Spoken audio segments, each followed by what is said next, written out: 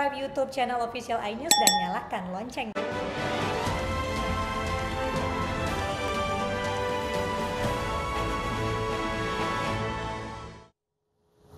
Puluhan telepon genggam dan peralatan rumah tangga disita petugas gabungan dalam razia di Lembaga Permasyarakatan Cipinang dan Rumah Tahanan Salemba. Razia dilakukan untuk mencegah gangguan keamanan dan peredaran narkoba di dalam lapas.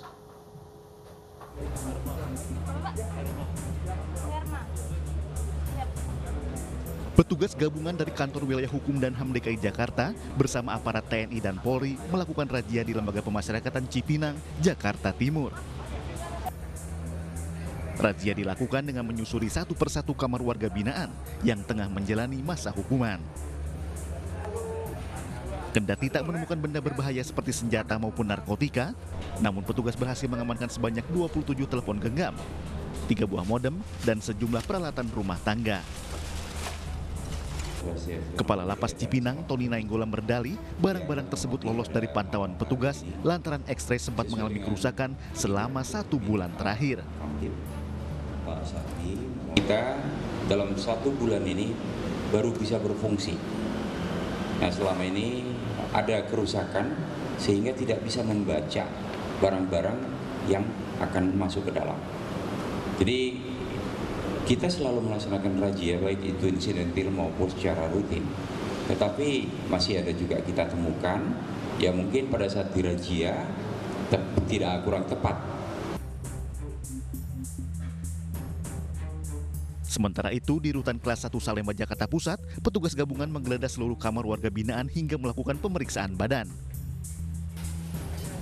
Di sini petugas mendapati barang-barang yang seharusnya tidak berada di rumah tahanan, seperti sejumlah peralatan elektronik, perlengkapan dapur, tiga buah telepon genggam, dan alat bantu seks.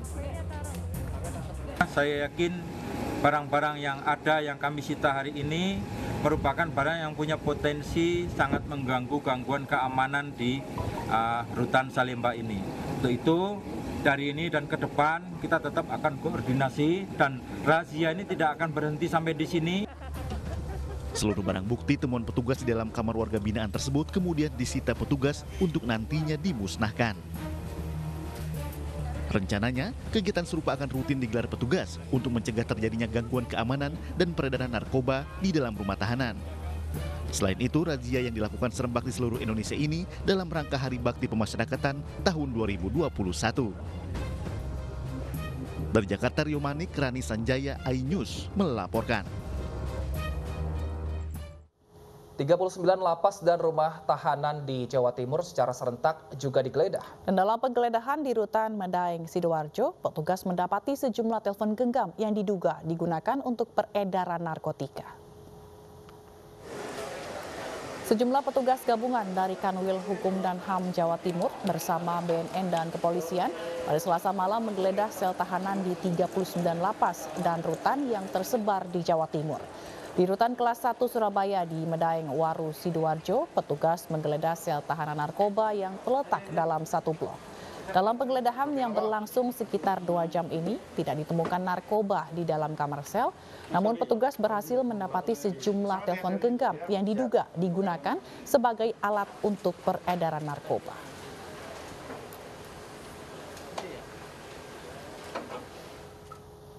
Kita ke Bandung, Jawa Barat. Pemirsa, kebakaran menghanguskan dua rumah semi permanen di Kecamatan Regol, Kota Bandung. Api diduga berasal dari hubungan pendek arus listrik.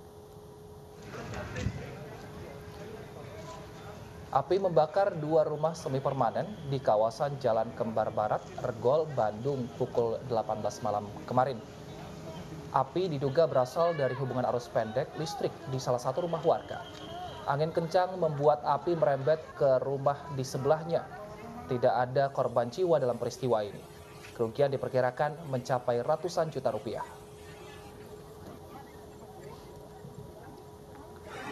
Kebakaran menimpa dua rumah, dua rumah dan alhamdulillah bisa ditangani dan tidak merembet ke rumah yang lainnya. Dua orang tewas saat 10 rumah di Bone, Sulawesi Selatan ludes terbakar. Dan lagi-lagi kebakaran diduga akibat hubungan pendek arus listrik.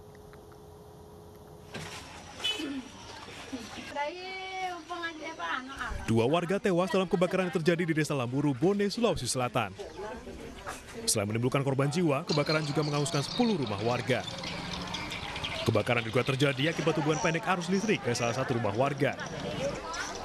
Api dengan cepat menyebar karena rata-rata rumah warga berupa bangunan semi permanen. Udah tahu kan makan jam berapa Pak eh, bangkat langsung kan lari turun. langsung menyelamatkan diri. Berawal dari dugaan sementara arus pendek dari rumahnya Bapak Tiro. Berapa rumah yang terbakar? Yang terbakar itu yang uh, rata itu hangus 10 rumah. Kebakaran terjadi sekitar pukul 3 dini hari waktu Indonesia Tengah. Api baru bisa dipadamkan satu jam kemudian menggunakan tujuh mobil pemadam kebakaran. Kerugian akibat peristiwa ini diperkirakan mencapai satu setengah miliar rupiah. Dari Bone, Sulawesi Selatan, Bulan Seri, iNews melaporkan. Lima pelajar di kota Jambi ditangkap usai menganiaya hingga tewas lawan main futsalnya. Pelaku dendam karena timnya kalah.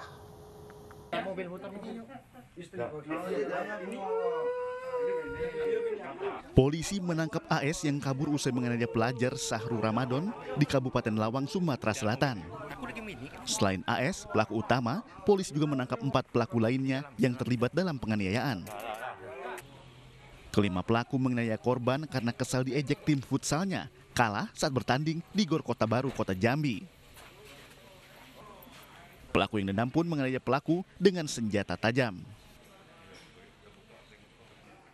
penganiayaan berat yang dilakukan oleh sekelompok pemuda dengan menggunakan senjata tajam yang mengakibatkan satu orang korban meninggal dunia telah dirawat sekitar tiga hari di rumah sakit Manggarai. Kondisi korban yang kedua ini luka di bagian punggung. Akibat perbuatannya, pelaku yang masih pelajar ini terancam hukuman 15 tahun penjara. Dari kota Jambi, Jambi, Adrianus Susandra, iNews melaporkan. Seorang perwira polisi tertangkap kamera tilang elektronik saat menghisap sabu di dalam mobilnya. Selengkapnya sesaat lagi iNews Pagi segera kembali.